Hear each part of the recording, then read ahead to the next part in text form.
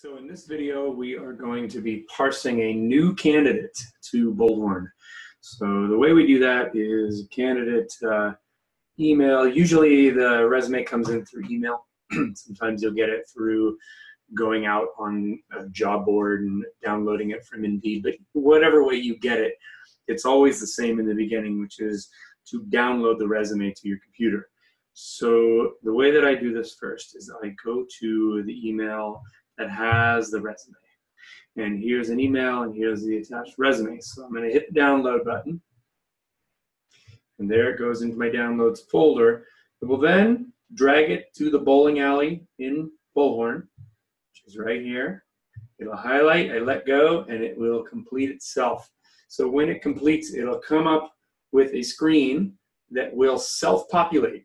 And you want to make sure that it doesn't do this here in that most of the time you will find it highlight or it capitalizes every letter of the entire name. And we don't want it capitalizing the entire name because when we do mass emails and we say dear first name, we don't want it to say dear and then yell Tiara because uh, it'll sound look like a mass email. So we just have to fix this. Tiara and then on um, that.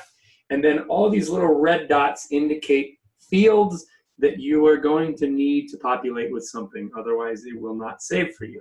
So the reason these are important is because these fields are ones we use when we do searches for candidates for certain uh, technologies, say, that they have an experience with, or we need to track where all of our candidates are coming from. So all of these must be filled out in order to save.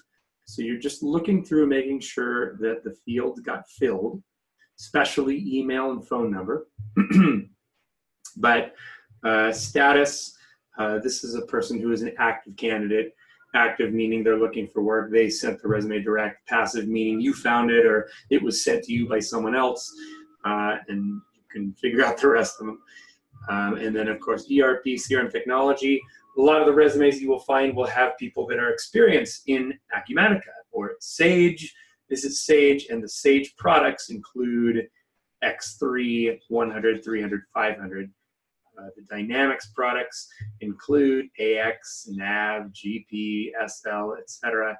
You will learn, or if you don't already know, you will learn those products so you'll be able to fill out this part appropriately. So in this case, these people don't have ERP experience, so I'm gonna go not applicable.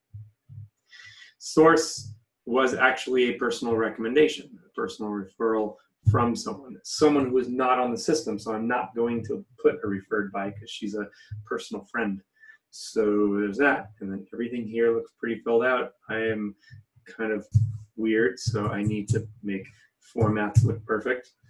So I do, and all of this is correct in its right place. And then finally, when you're at the bottom, you're gonna hit save. And that is how you parse the resume to Bullhorn of a candidate who is not currently already on the system.